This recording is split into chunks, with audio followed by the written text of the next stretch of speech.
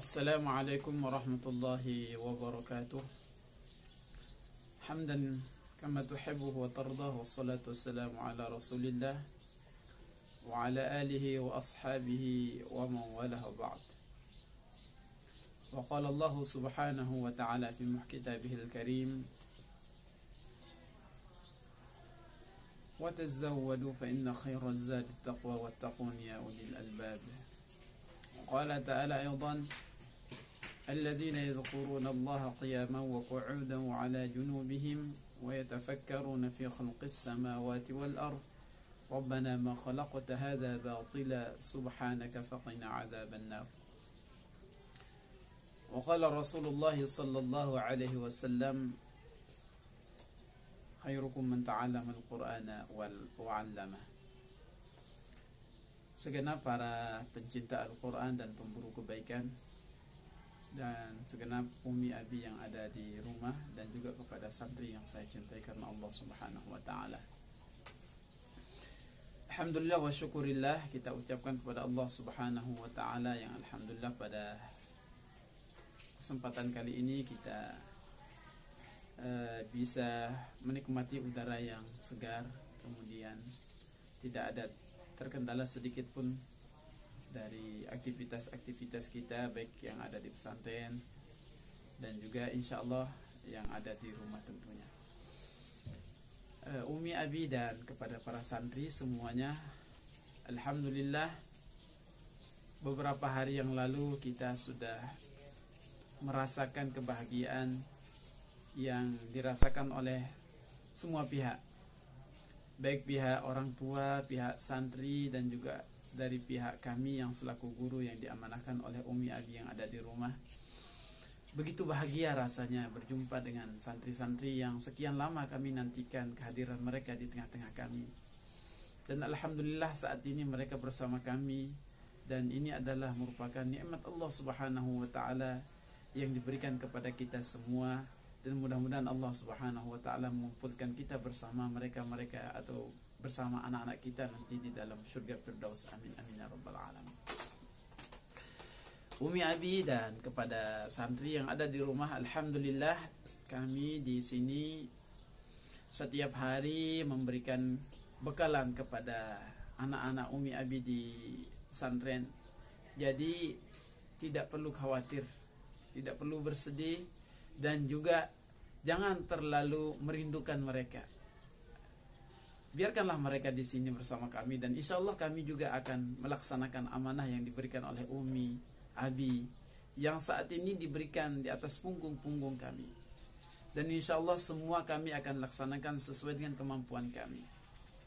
Oleh karenanya kami berharap kepada Umi Abi, doakanlah mereka, berikanlah support dengan doa mereka, tetapi jangan terlalu sering untuk ditelepon karena nanti takutnya mereka akan terganggu konsentrasi mereka untuk menghafal Al-Quran untuk belajar dan juga untuk aktivitas-aktivitas yang lain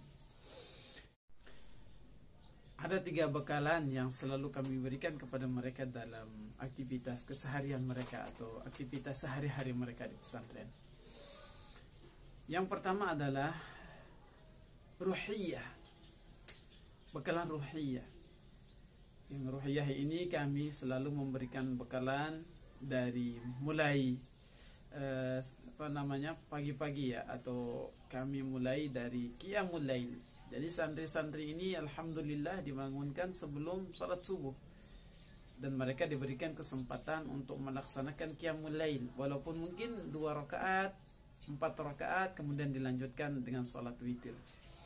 Dan alhamdulillah dari tim kedisiplinan dan juga dari tim kesiswaan atau dari tim asrama senantiasa memberikan motivasi dan membangunkan mereka mulai dari bel kemudian setelah itu diumumkan oleh mik setelah itu dibangunkan dan sebagainya ini adalah proses yang senantiasa kami bangun untuk memberikan didikan kepada mereka agar senantiasa mereka mulai untuk belajar qiyamul lail dan juga menjaga salat witir.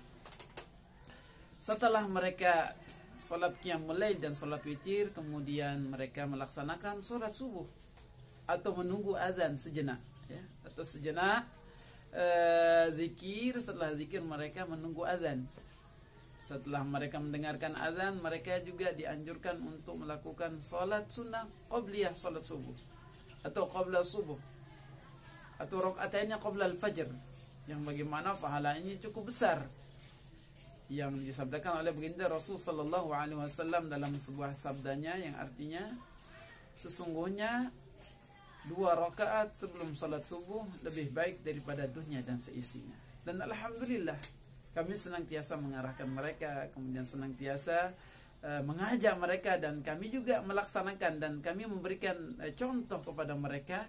Dan alhamdulillah ustadz-ustadz di sini terdepan dalam uh, memberikan contoh ya terutama di salat uh, qabla subuh ini atau uh, salat fajar. Kemudian setelah mereka salat fajar kemudian menanti untuk melakukan salat subuh berjamaah.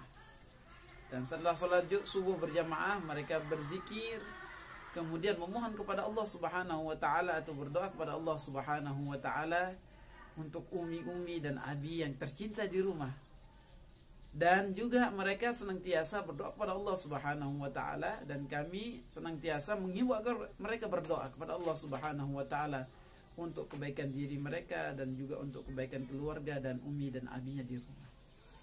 Setelah mereka melakukan zikir, kemudian berdoa, kemudian mereka juga uh, ada agenda rutin yang sangat-sangat luar biasa yaitu halaqah Al-Qur'an. Setelah zikir doa mereka melanjutkan dengan halaqah Al-Qur'an.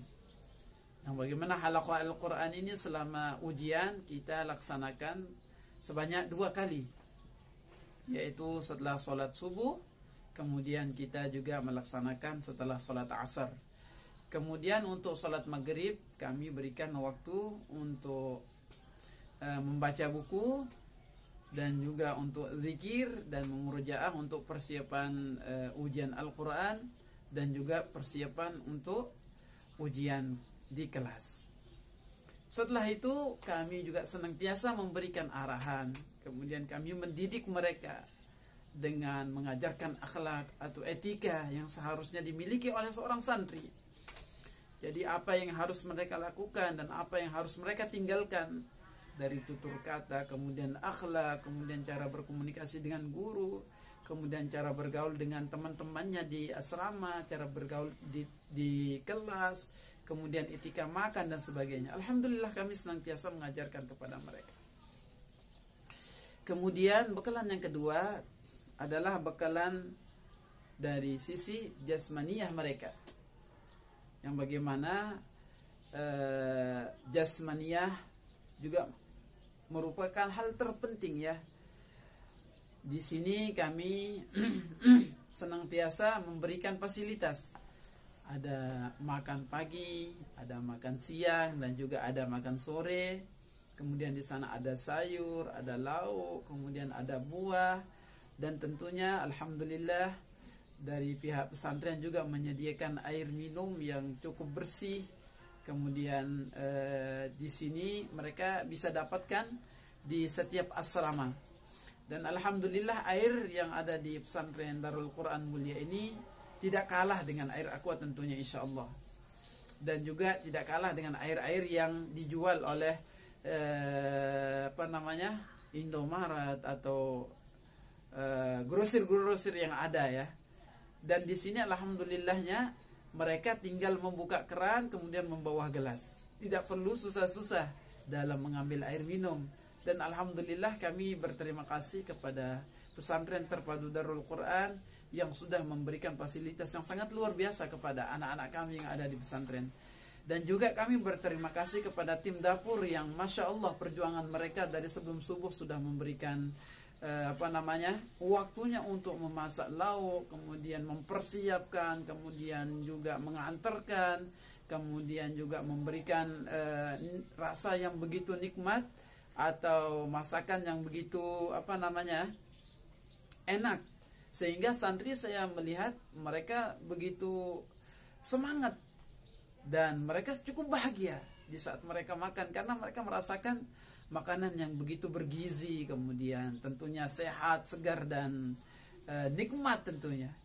Dan sekali lagi kami berterima kasih sebesar-besarnya kepada tim dapur yang masya Allah kami tidak bisa membayangkan ya sekian banyak santri kemudian sekian banyak uh, apa namanya guru yang ada di sini kemudian karyawan yang begitu banyak yang mereka memberikan waktu tidak hanya sejam dua jam tetapi jauh-jauh jam atau jauh-jauh waktu sebelum makan mereka sudah mempersiapkan. Kemudian mereka memindahkannya ke tempat ini adalah perjuangan yang cukup luar biasa.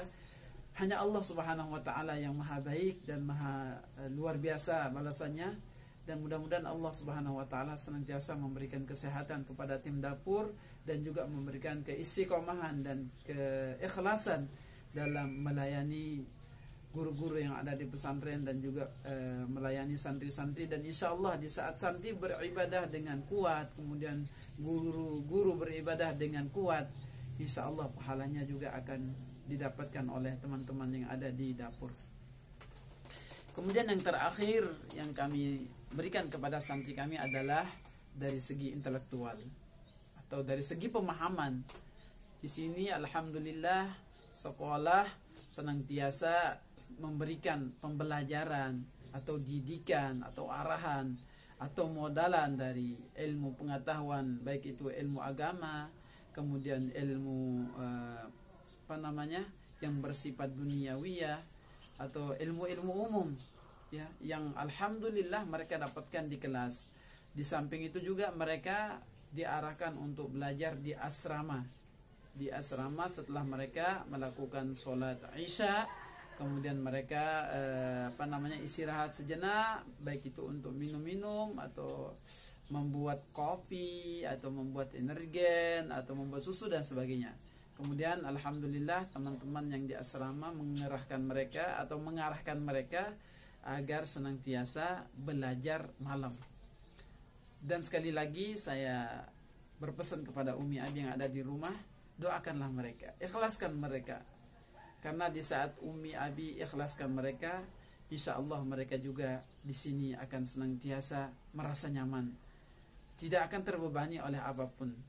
Dan mereka insya Allah akan senantiasa berada dalam rahmat Allah Subhanahu wa taala dan juga senantiasa akan kami awasi, akan kami layani dan juga akan kami didik dan insya Allah kami akan senantiasa merangkul mereka untuk mengajak kebaikan dan insya Allah mudah-mudahan Allah Subhanahu wa taala mempertemukan kita dan mengumpulkan kita bersama mereka di dalam surga Firdaus. Amin amin ya rabbal alamin. Hanya sekedar ini yang perlu saya sampaikan. Mohon maaf apabila ada tutur kata atau kalimat yang kurang berkenan atau yang menyakitkan hati Umi Abi di rumah atau mungkin kalimat-kalimat yang tidak jelas ini semata-mata karena kekhilafan dan kekurangan saya pribadi. Hadanallahu wa iyyakum ila aqwamit thariq. Assalamualaikum warahmatullahi wabarakatuh.